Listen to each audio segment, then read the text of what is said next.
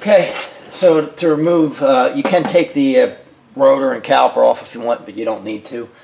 Uh, to remove uh, the strut, there's three bolts at the top, or three nuts at the top, which I'll show you. You have to remove these two mounting bolts to the knuckle. They're uh, 20, 22 millimeter.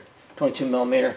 You need to undo your brake line from the bracket on the strut, which is 12. You need to undo your uh, stabilizer link, 18 millimeter in this case, and behind here, pick you up and show you this.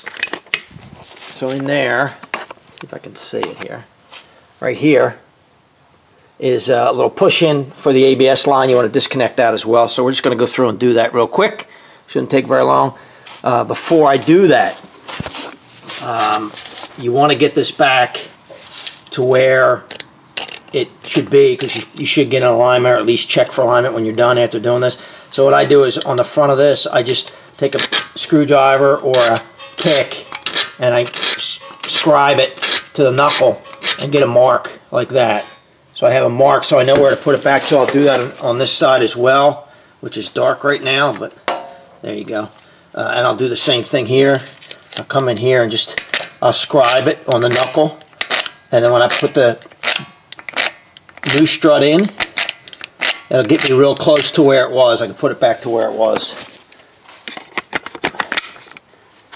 Alright. I think uh, we'll just go with the uh, stabilizer end link here first. Uh, these, in my case, 18 millimeter. I don't know what yours is. I don't know if these are original equipment or not. I have no idea. Of course, got almost 200,000 miles on it.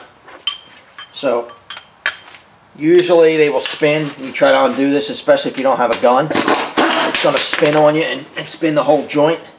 So, just hold the flat. Hopefully you can see that. Let me see. Can you see what I'm doing? I don't know. Can't see. I think you can. I'm just holding the flat. There's a flat on the behind the bracket here. Let me show you a better shot of that. Let me move it. Get you on a different spot here. So there's the uh, upper link of the stabilizer end link. Uh, there's flats that I can hold this with. So I'm sure I'm, I'm getting reverse here. I do. It's very tight. I don't know why it's so tight. It shouldn't be that tight. Wow, that's not a good start, huh? And my gun turned down? No. Let me uh, switch, uh, get rid of that wobble extension. It might be causing some problems there. Let's see if we can just do it that way.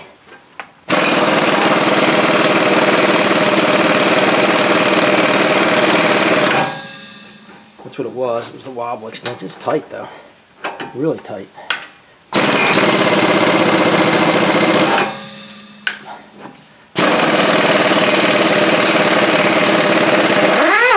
There it goes. That was really tight. That's how tight that was, but it's off. Okay. It's just kind of jammed a little. There it goes. It actually came out, but here you can see it's got a flat on it's got flats that you can get a wrench on to hold it in place. So we'll just put that nut back on there so you don't have to worry about where it is. I hope. Kind of fight me a little bit. I'll just push that back out of the way. I'm going to unclip my ABS sensor here. Little push-in clip, just squeeze it, push it through. Just make sure it's loose. You don't want to you don't want to catch that and break it you don't have having to put a sensor on it. You don't want to do that. I'm going to come across here to uh, this side. Hopefully you can still see this right here.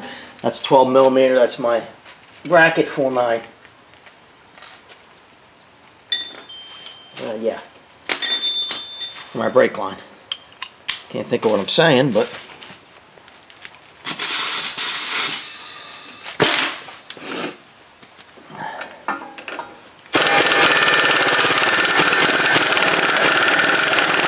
Wow, I'm really surprised how things are both pretty tight. Good pressure too.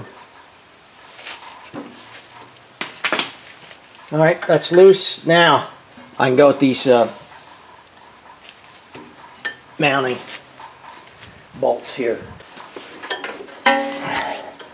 stay out of your way. There's one. Go down to the bottom one now. Hopefully my hand's not blocking everything you're saying, I hope. Turn my light up here. Yeah, a little more light. Same thing here, just reach in.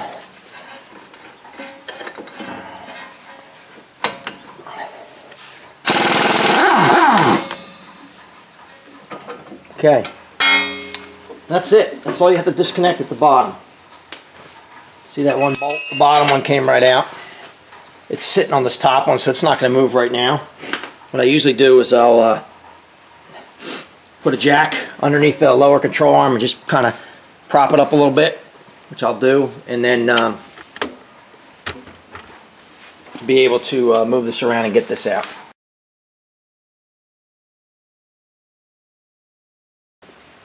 Oh, my light might be blocking. Let me move my light. Always a constant battle with the light. Alright. Take my gun and just push on it as I un unscrew it here. And usually just push them right out. Just like that. Alright, so this is all loose now at the bottom. We're going to go up top now and undo the three mounting bolts or mounting nuts at the top. Up right in front of the driver's side, uh, you know, cowl here. There's three access covers, just pop them out. Set them aside. There's three nuts, studs sticking up with bolts, bolts, nuts on here. Just reach down here. Over here. No. Yeah, first. There we go. One. We'll reach down in there with a magnet and get them, done.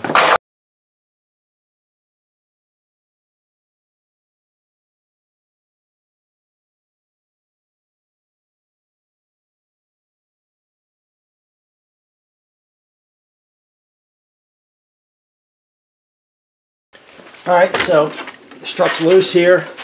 I'm just, I have to wiggle it out. I may have to drop the control arm a little bit to get this out, I'm not sure. We'll see. I want to be careful of this. That's the main thing. I don't don't want to hit that and break it. I to get this past the control, this this uh, tie rod end. So I'm going to have to drop the control arm a little bit here, I think. Just a little. Just let it down. I'm going to push this out past so I can drop it down. Careful of your wire. Get this uh, jammed up here. That's not the way I want that. Just weasel it out here. Drop it in the middle here. Maybe. Maybe. Oh, it's just fighting me like crazy. Out the front instead of the back. There you go. Now you probably couldn't see any of that, but there you go. So there's the, uh, there it is. There's the whole strut out of the car. Um, these are leaking. They have leaking oil all over the place internally, so they're no good. To get that out, I had to drop the front of the, the bottom of the strut past the front of the axle, CV axle, so I can get the top out and then just take it back out of there. No big deal. I got the new one here. We're just going to unscrew the nuts from the top of it. We're going to be using them. Don't use the old ones. They're not always the same size.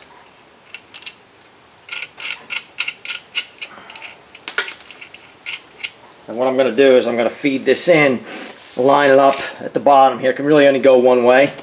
Um, it's got to face out so it can uh, meet up with the knuckle. Uh, I'm going to feed this through the top and get a bolt started fight with that. Probably shouldn't be too bad. Um, then push it back in there here and see what we got.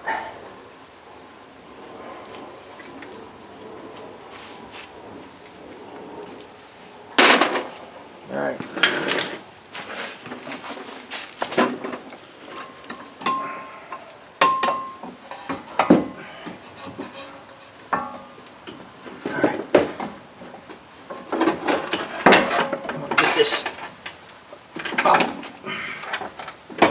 Post here, sitting right on the axle, just for now. So I'm going to stand up and actually do this. Uh, you won't be able to see much. I'm just going to wiggle it around. This is a little easier if you have two people. Uh, but I'm going to get one of the try to get one of these nuts started on one of the, the bolts up top here. Get it lined up and do that. I wanted to show you a little trick that I use. So you've got to reach down in with this. Let me get some better light. I'm trying to get you some decent lighting here. I'm not having very good luck with it, but you got to reach down in uh, into that cowl up top to put those nuts on. You need a way to hold them. So what you could do is just take a little piece of uh, paper towel or shop cloth like that, put it over the end of the socket and push your nut into that. It'll now hold that for you so you won't drop it. It won't fall off of the socket when you're trying to reach down into that cowl and get this started. So that's what I'm going to do. I'm just going to push this up into place and get one of these started to hold it in place. Try to get them all started, then we'll come back down here. Got one of these started. It's holding it in place. I'm going to do the other two now. Same, same trick as before. Little piece of shop rag or paper towel, doesn't matter. It's enough to hold it there. Alright, then bottom here again, we're just going to line this, try to line this back up. Drop my light a few dozen times while I'm doing that, hopefully. Let's see if I can, uh, I am fighting lights today. Man, am I fighting with lights today. Uh, maybe that's a little better. Just line, try to line this knuckle back up here. Let's rotate a little forward. So, get it started here fight with it. Yeah, it's just, it's got to come back this way. It's just fight with. There it goes. That's better. A little better. Alright. So it's got to come up because the holes are down below where they should be. That's why I have the jack under the lower control arm so I can move it up and down and get it lined up. This one, yeah, it's got to come up. See how that's above? I know it has to come up. And that's what I want to do. I'm just going to try to line these holes up. I have a long punch. I find that makes it a little easier. You get a punch in there, hopefully. Hopefully it doesn't do that on you. Where it just, uh, then we use a punch to kind of line it up and center it. I'll leave that in there and I'll get the bottom bolt in.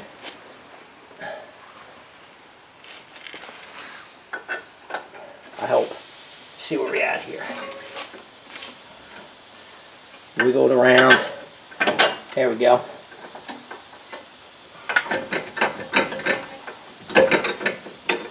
You may have to adjust it a little bit.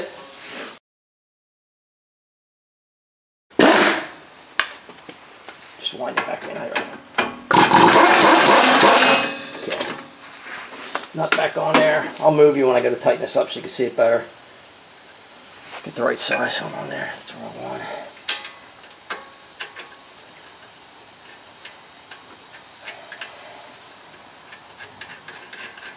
Okay, little top bolt.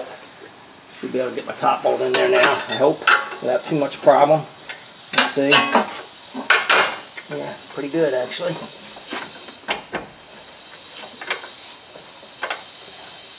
Get started.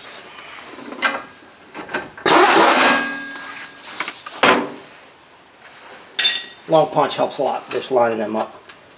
Okay, we'll put that in there.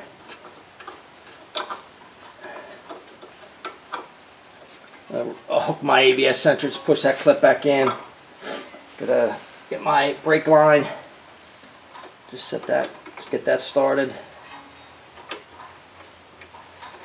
Hopefully I'm not blocking everything you're seeing here. I hope not.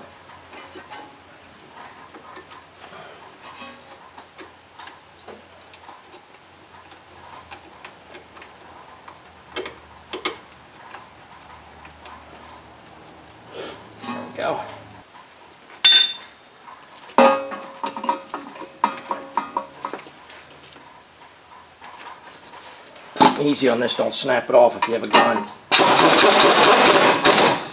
Snug it up. I'm gonna line my top uh, sway bar link up here. It's still gonna come up. It's gonna come up some more, so I, I lowered it down. I'm gonna bring it, I'm just gonna bring the control arm up, line that up, get that in there. Get that started back in place. Maybe. Not tightening that yet. Now, I have my marks that I that I have that I made, and I want to want to get this. There's not a lot of movement to this one. And it's actually pretty close to where it should be. Get close and then we'll tighten these back up.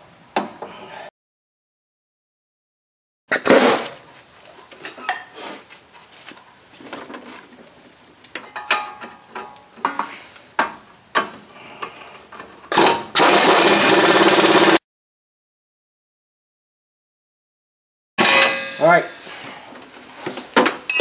tighten my uh, end link here, get that in place.